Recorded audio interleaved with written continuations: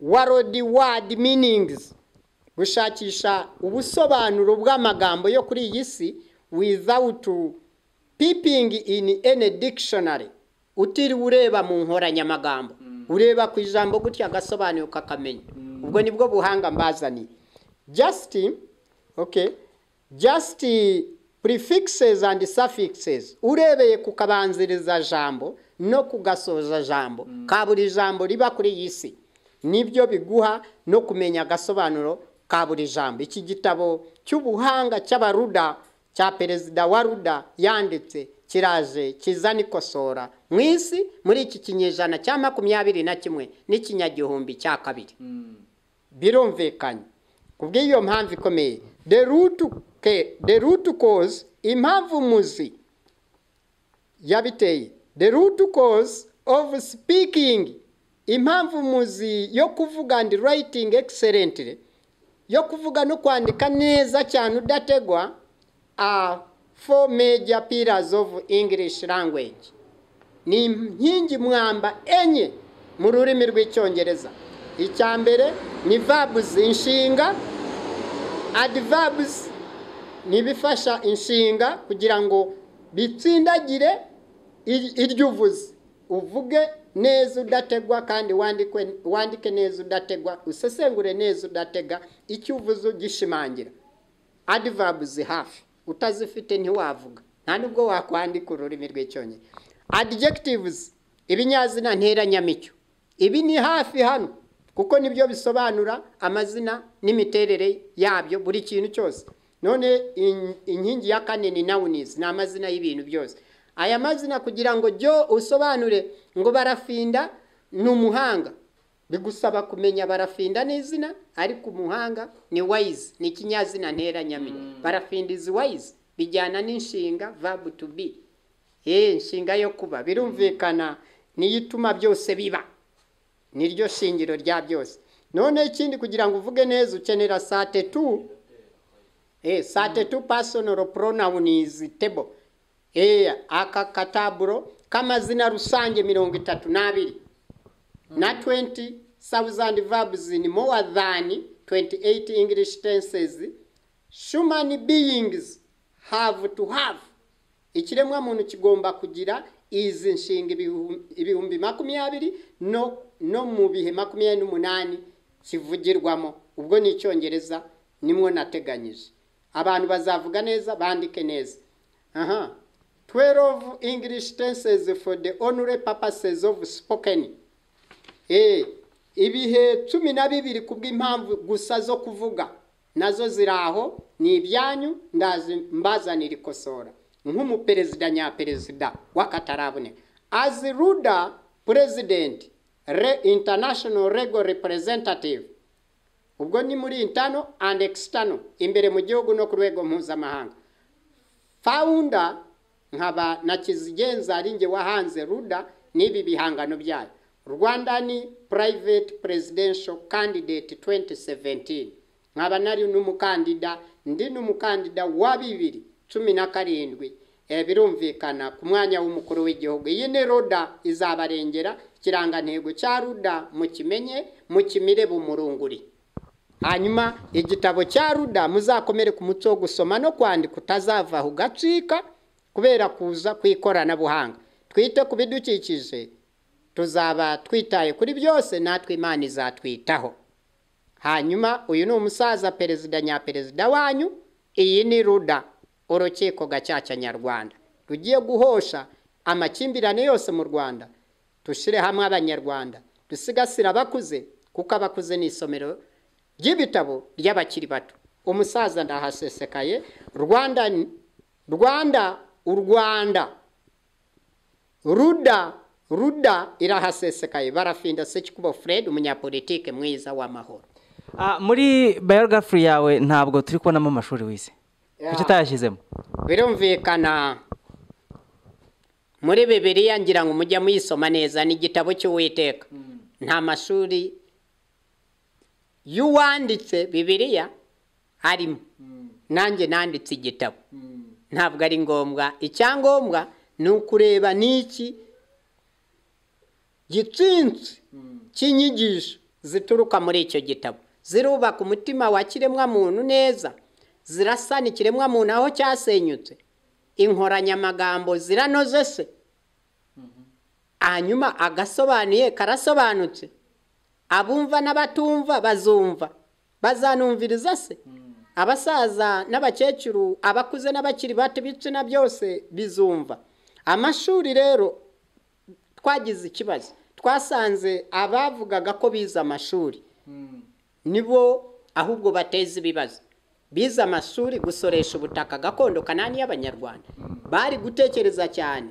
Ibyo bahanga hakavamo imisoro yakubaka imihanda amavuriro amasoko n'andi masoko y'ubukungu. Ariko ntibubame. Hejuru ya gakondo y'imana yihereye abanyarwanda ku buntu bataguze batanaguranye. Si n'umutungo ngo bakuye mu buyapani ngo bashoya yabo ngo bakeneye ko bagaruza. Aho bararengereye barenze aho bari kugarukira barenze ku mbibi z'uwiteka n'imbibi z'abanyarwanda. Ingabire yabo yabihereye bwite. Uwo wize se yize gusoresha amazu y'abana koko? Kuki atakwikiye amasoko ye mu buhanga afite n'ubumenyi? Nzanye. Wenda avuge kadukwikire eh, uru- kaminuza. Yigisha abanyeshuri kuvuga neza icyongereza no kucyandika ku rwego mpuzamahanga. Imigabane yose igiza irerere mu rwanda hanyuma amafaranga azajya avamo yubake amas- amasoko n'amavuriro tuvure abanyarwanda bagira imibereho myiza n'abo batugana ndetse tubahe serivisi inoze. Njye ndumva ari cyo cya mbere Ah, ubumenyingiro ni cyo cya mbere kuruta ah, biriya baba bavuga ngo azagaragaza impapuro umutsindo ngo diporome Eh? katubanze tuzizane hano kwanza ngo azagaragaza impamyabumenyi n'ubushobozi. Ngo nizo ngo zigaragaza ubuhanga. Ntabwo ari byo byo barababesha. Iyo mpamyabumenyi Eh. yisobanura abadukurikiye muri kano kanya. Eh, ni ukuvuga ubumenyi n'impamyabumenyi biba mu bwonko umuntu arabigendana. Iyi ni united nations institute for training and research program of correspondence instruction in peacekeeping operations awards.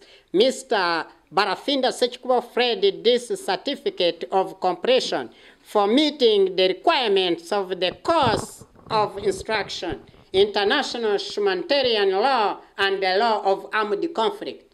Nge ndi umusaza w'akataraboneka mpuzamahanga mwarimu mpuzamahanga mpora mbibabwira urumva mu gusigasira amategeko amategeko mpuzamahanga asigasira uburenganzira bwa kiremwamuntu. Ni igihe kizigenza.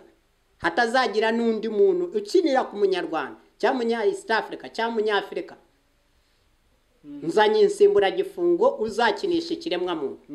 Ni igihe ushinzwe gusigasira ikiremwamuntu. Guhera ku mukuru w'igihugu kumanuka hasi. Bose babimenye. Umupolisi wese amenye ko nta mukuru utagira mukuru. Ndahasesekaye. Umuperezida wese muri east africa africa. N'isi yose. Mubimenye mwarimu mpuzamahanga. Umunyamategeko arahasesekaye. Batazajya bibaza barafinda ni mu ntoki. Ni umusaza ukuri w'akataraboneka. Usibye ibyo by'amategeko. Nanone the law of armed conflict. Ndi umusaza w'umunyamategeko mpuzamahanga uhosha amakimbirane ya gisirikare ya gikomando. Babimenye usiye no kubimenya banabimenyere babimenyere bamenyere ibyo. Eh, ngira ngo barawubona ni umuryango w'abibumbye isi yose. Nje naze gusigasira kubumbatira isi. Mu majyaruguru mu majyepfo iburasirazuba n'iburengerazuba. Ibu- hose ndaharuzi ni igihe kizigenza kuri satelite hafi. Mwarimu mpuzamahanga Eh, birumvikana birumvikana ni urugero ako ni akamanyu gusa. Nabwiye ko nge zigera ijana mirongo itanu na zirindwi mpuzamahanga. Batazadukinisha. Iki? Eh, impapuro tugira. United nations institute. Okay iyi ni logistic support to un peace, peacekeeping operations. Hano ni ukuba tushobora kumenya buri kintu cyose aho kiva n'aho kigana n'aho gikenewe. Mu muryango w'abibumbye mu rwego rwo gusigasira amahoro ku isi. Birumvikana amahoro si amahane. Ufite amahane umusaza w'akataraboneka ndaje umucogozi ndamukosora. Eh, rero batazajya bitiranya barafinda ni mu ntoki ubutaha uzatwereka n'izindi. Oya, si si ngombwa ariko icyangombwa ni uko wari ubikomozeho. Ngo amashuri amashuri amashuri iki? Abayafite ko ntabona bamanurira abaturage imvura. Kuki badahaguruka ngo bavuge ko abanyarwanda bahangayikishijwe n'amagereza bashiriyemo? Bahangayikishijwe na pandagari kandi uburiza pandagari yize amashuri abo bapandisha pandagari ntibize. Aho kugira ngo babafate ku kaboko babigishe icyakorwa babigishe icyo bakora batera imbere bave muri utwo tujagari twose ahubwo nibo batera abanyarwanda akajagari babatera stress guhera mu bwonko. Ubwo se kuri tere bimeze bite?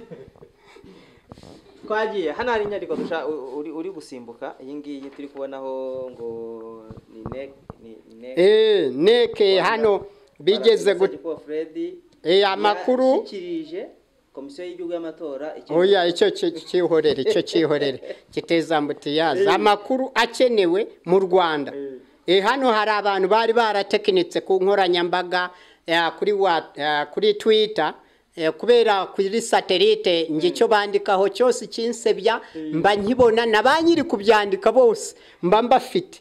Eh, ariko njye nk'umusaza w'akataraboneka urumva ntiwaba papa w'abantu ngo ujye kubahana. Ahubwo ureba ko bari barimo gukora ubushakashatsi wenda bakubita hirya hino barebe ikiva mu gihuru. Ariko nk'uko mbihaze kubisobanura ruguru hariya eh, ni ukuvuga twamaze kureba tumaze gukoresha ubushishozi twasanze abanyarwanda harimo abahubuka. Bagakora ibintu bakandika batabanze kwegera nyiri igihangano ngo bamubaze ababwire abibwirire nk'uko umubavu tv online yahasesekaye urumva mwe kubaza bitera kumenya intabaza irera ku muziro ikarinda isaza itamenya ariko mwe murabimenye kandi mubimenyeshe n'abandi bose. Ngo umusaza barafinda sekikubo fred arahasesekaye muri perezidansi. Isaha n'isaha. Inkoko niyo ngoma. Isaha n'isaha nibambona. Bajye ba- bahigama nta mpungenge. Bamenye umusaza mwarimu mpuzamahanga arahasesekaye. Hano ni bwo nafataga iyi nyandiko. Eh, ndabaza turabaza neke na leta. Ninde wanditse iyi nkuru. kuri barafinda sekikubo fred? Ninde waba warayandi? Kuko hano nahabonye idarapo ry'igihugu. Eh. ninde wanditse iyi nkuru? Iyo nkuru se ni mbi? Iyi nkuru? Ahubwo wansomera iyi nteruro ikurikiraho. Hmm? abayakeneye Eh, abayakeneye ubwo ni amakuru. Abana baba- b'abanyarwanda bose abana b'abanyarwanda bose bakeneye amakuru. Bavukiye mu mahanga ku bavukiye mu mahanga kuva mirongo itanu n'icyenda bakeneye amakuru. Ababyeyi bombi? Ababyeyi bombi? Bagihari. Eh, ababyeyi bombi? Bagihari. Hari noneho ababyeyi bombi batagihari. Hari abanyarwanda bakeneye amakuru kuki bavukiye hanze? Eh, bavukiye hanze ku mipaka bigeze bashyiraho ibitabo byakira abo bana b'abanyarwanda bahungukaga bandikwa ko batahutse bavuye mu mahanga igihugu iki n'iki. Cyaba bararetse barinzira ku buryo ah, n'umuntu utari mwiza yari kwinjiriramo ibyo bigaragaza um- um- uh, bigaragaza umutekano muke. Twe turaje tukosore buri munyarwanda uri imbere mu gihugu tumwandike uri mu karere k'ibiyaga bigari no muri leta zunze ubumwe za afurika hose no ku isi hose abanyarwanda bagera kuri miliyoni mirongo irindwi ku isi yose kandi hano i rwanda mu- gihugu bagera kuri cumi na zirindwi. Eh, twe twamaze gukora ubushakashatsi rero tufite eh, amateka y'abanyarwanda batazanatekinikaho abana bose bavutse. Bavukiye hanze. Bavukiye hanze. atanu n'icyenda ababyeyi babo bakaba barapfiriyeyo. Barapfiriyeyo. U rwanda leta y'u rwanda yigeze ibabarura. Yigeze imenya ababyeyi bapfiriye mu mahanga abana babo bakaba baraburiyeyo. Barabuze uko bataha kuko ntibazi aho bataha ntibazi aderese y'ababyeyi babo. Kandi bahunze itanu n'icyenda nta rangamuntu baka bagafashe baga- leta yagatanze. Yari itarazitanga. Abo bana ntibafite n'ibyemezo byemeza ko baza ari abanyarwanda kuko nta cyangombwa ababyeyi babo bari bafite. Abantu benshi bahunze bakiri urubyiruko. Bataranageza n'igihe cyo gufata ibyangombwa na byo byumvikane. Bagezeyo barakura barasaza babyara abana. Abo bana babo n'abuzukuru babo bariyo barakwamye. Hari ababyeyi baguye abuzukuru bariyo.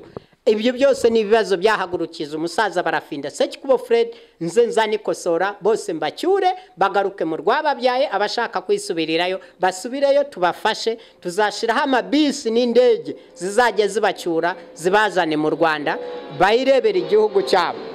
Icya gatatu hari ababuranye n'ababyeyi babo. Ubwo ni abana hari ababuranye n'ababyeyi babo bitewe n'intambara z'urudacya zabagayo. zabagayo. Ubwo aho ni mu mahanga babaga. Mu bihe byose. Mu bihe byose byo guharanira ubwigenge naho mu bihe byose byo guharanira ubwigenge. Kubera intambara inzara ubukene ibyorezo. Eh, n'aba- n'abagizi ba nabi n'izindi nsanganya n'ibindi n'ibiza. Icyo ni icya gatatu wari wa- wari ugezeho. Eh, urumva abo bantu bahuye n'ibibazo mu mahanga. Urumva baharaniraga ubwigenge naho naho bwabonekeye benshi bitabye imana. Kubera intambara inzara ubukene ibyorezo n'abagizi ba nabi n'izindi nsanganya n'ibiza. byagendaga bihitana abanyarwanda bacu babaga muri ibyo bihugu bikikije u rwanda ibyo hafi n'ibya kure abo bana bagendaga basaguka imfubyi zarerewe mu mahanga zakomotse ku banyarwanda. Nta muntu wigize utekereza. Ngo amenye ko abo bantu babaho. Bariyo. Mm. kandi bagomba gutaha bagomba kurutaha byanga bikunda byanga binoga. Hari n'aba- n'abahunze mm, ari abana muri mirongo icyenda na kane nabo. Katugere ku cya kane. Hari benshi bavukiye muri tanzania. Congo congo DRC, burundi uganda n'ahandi henshi. bitewe n'aho- Isi yabagejeje. aho isi yabagejeje abo bose bagomba gutaha kurutaha byanga bikunda byanga binoga. Abategereza umusaza barafinda sekikubo fred abakorera umuti. Kuko abandi nta n'uruganda rwo gukora umuti. Bashobora no kubaka cyangwa ngo babe bakora umuti. Kuko barawubuze. Uwo bari bafite bakoze ubwo ni uwo nyine. Mm. Eh, niwo munsi y'urugo bari bafite. Naho abafite no hirya yo mu rugo baraje. Noneho. Hari ikindi kibazo kizagora u rwanda? Eh, hari ikindi kibazo kizagora u rwanda kenshi. Mu minsi iri imbere. Abana ba- abana batawe eh, hatazwi. hatazwi ababyeyi ba- bababyaye eh, bo nabo ntibafite ba- batawe hatazwi ababyeyi bababyaye. N'abana eh, bo bo nabo ntibafite ubwenegihugu bo nabo ntibafite ubwenegihugu bw'inkomoko. Y'ababyeyi babo kuko ntababazi Eh, kuko ntababazi Mm. ubwo nk'aba bana b'imfubyi mu rwanda hose babavukira kwa muganga se abakuriye mu bigo by'imfubyi aba basirikare batoraga ku rugamba no mu nzira hose bahunga bajya kongo mu gihe cya jenoside na afuta mu gutahuka kwabo bose hari impinja nyinshi zagendaga ziboneka hirya hino. Hari aba- abo bagendaga batoragurwa hirya hino mu mashyamba hirya hino babasize mu mijyi ari mayibobo ari babo aho kugira ngo babigire umushinga bashyire mu mashuri bige babubakiye iwawa gereza yo kujya kubafungirayo. Ntabwo ari byo. Mm. nta iryo kosora ntabwo ryari ryuzuye neza nta nubwo ryuzuza ubuziranenge. Bari kubaka amashuri abanza n'ayisumbuye. Buri mwana w'umunyarwanda batagombereye ni mwene nde? Kuko igihugu cyahuye n'isanganya cyahuye n'amahano abana b'u rwanda baragowe. Bakigisha bose. Batavanguye ngo uyu ngo uriya ngo uyu n'uriya. Uriya se ni we uzubaka igihugu? Mm. ni we utaje ni- ndiyo yeye mwenyewe atajajenga inchi Mm. Ntabwo ari uzubaka igihugu. Uzubaka igihugu ntibamuzi. Mm. ashobora kuvuka mu wo batafashije batigishije ahubwo yarigishijwe n'umugizi wa neza. Eh, yaranamwigisha iyi ni isi ikanamwigisha. Eh. big nb